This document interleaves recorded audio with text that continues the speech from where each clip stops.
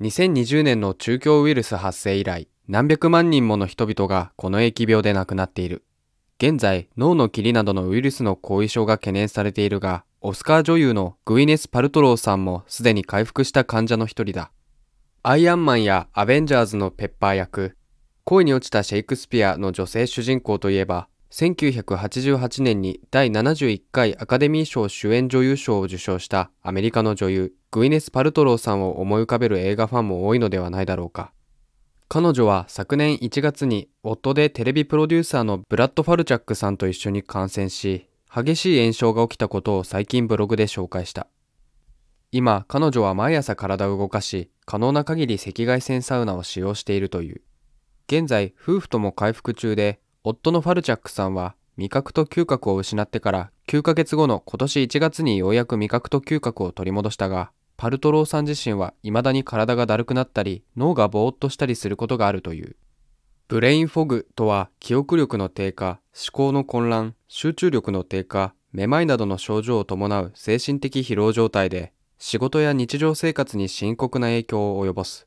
中には自分が誰であるか、どこにいるかを忘れてしまい、その結果認知症になってしまったと感じる人もいる。中共ウイルスの影響で脳に異常をきたした患者はパルトローさんだけではない。実際、回復した患者の中には原因不明のブレインフォグを発症した人も少なくなかった。例えば、アラバマ州の上級救急看護師であるリサ・ミゼルさんは、ウイルスから回復したものの、記憶力や認知能力が著しく低下し、ブレインフォグを経験した他の人と同様に仕事を休まなければならなくなったと述べている。その結果、まともに仕事ができなくなり、他のブレインフォグの症状の人と同様に休職せざるを得なくなった。8月に発表されたフランスの調査では、対象となった120人の入院患者は、1ヶ月後にはそのうちの34%が記憶力の低下を、27%が集中力の低下を経験していた。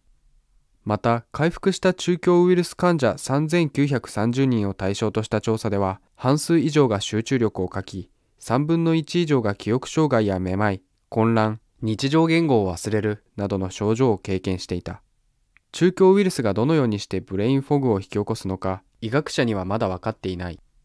しかし、多くの専門家が、患者が回復した後に体内の免疫反応が不完全に停止したために起こるのではないか、あるいは脳に流れる血管に炎症が起きたために起こるのではないか、または患者が小さな脳卒中を起こしたために起こるのではないか、などと推定している。